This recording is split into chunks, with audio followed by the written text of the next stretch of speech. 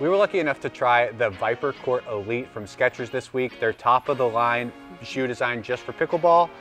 And first impressions, I mean, in my opinion, Skechers' best looking shoe so far. Absolutely. And uh, I had a blast playing in it this week. What did you think? Yeah, I loved the way that it felt. I thought it was a little bit more snug than some of the previous Skechers shoes, especially in the toe box. That's something that I prefer. I like a tighter fit shoe. I also wear some pretty thin socks, so I felt like that fit perfect. Yeah, absolutely. And I think that a little bit tighter fit translated to performance. Mm -hmm. I think Skechers wanted a shoe that could handle lateral movement a little bit better than maybe the comfort driven shoes they'd had before without sacrificing kind of the, you know, some of that comfort that they're known for.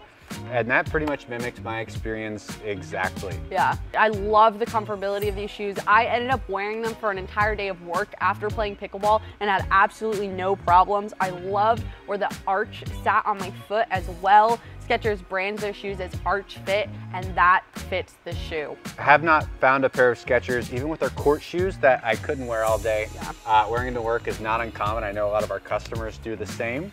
And even in their performance shoe that's a little higher end, a little bit stiffer, uh, still pretty comfortable. One of the new features of the Viper Court Elites is this slip-on, slip-off feature at the heel. Joseph, what did you think about that? Walking out the door and being able to just, you know, while you're carrying your bag, slip your foot right in is an awesome feature. Mm -hmm. As easily as it slips in, it can slip out without some adjustment on the lacing. Mm -hmm. I ended up playing with it after slipping them on and I found that my heel was a little loose in there. I ended up adjusting it to the second eyelet and found that my heel was completely locked in after that. I did the exact same, yeah. just that little adjustment of going up one or two eyelets uh, gave you kind of that heel lockdown you're looking for, especially mm. if you're playing like more aggressively. A court shoe can be great and supportive, but if it's not comfortable and you don't wear it, it serves zero purpose. And Skechers has found a really nice balance between performance and comfort here. Yeah, Absolutely. Another awesome feature about Skechers shoes is the durability that they provide in their outer sole. They use Goodyear rubber on these pickleball court shoes.